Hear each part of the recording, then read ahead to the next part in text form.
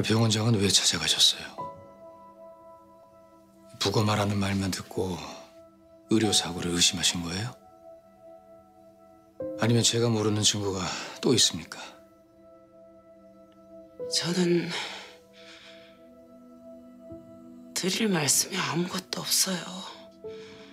우리 아들이 왜 죽었는지 그 진실부터 밝혀주세요. 그거 밝혀주시면 형사님 알고 싶은 거 다 알려드릴게요.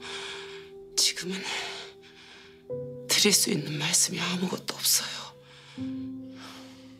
아드님 진실을 밝히고 싶으시면 아는 걸 다 말씀하셔야죠.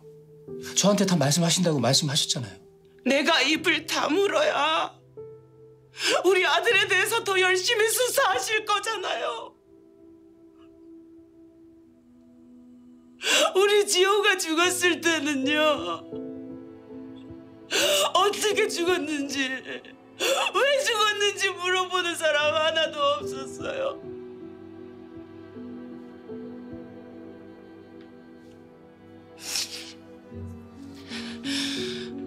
근데 병원장이 죽었다니까 이렇게들 관심이 많네요.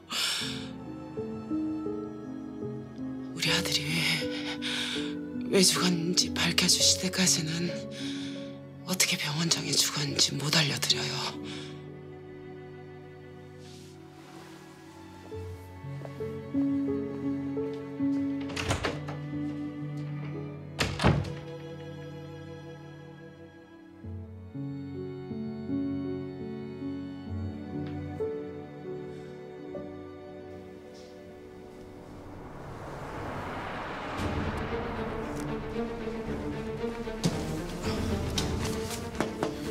(2018년 12월 22일) 토요일 청년중학교 3학년 임지호, 이대웅, 최민우, 허재훈 군이 학교 체육관에서 농구를 하다가 황부경 씨 아들 임지호 군이 갑자기 쓰러졌습니다. 이 쓰러진 임지호 군은 급하게 한결병원으로 옮겨졌으나 결국 사망했고 황부경 씨는 아들의 사망 원인을 의료사고라고 주장했습니다. 그리고 그 와중에 병원장이 추락사한 거고요.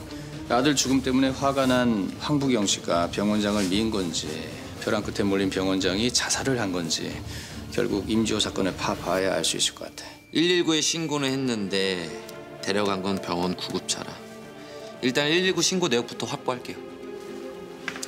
저 은홍구 부부 사건은 뭐 좀 나왔어? 딱 그 시간대에 돌아다닌다는 생수통 배달부를 찾았는데 날짜가 안 맞아요. 이 서점 집을 다 예, 새로 왔으니까 싹 새로 왔으니까 한번 뒤져봐야죠. 그리고 두 사건 한꺼번에 하기는 복잡하니까 분담해.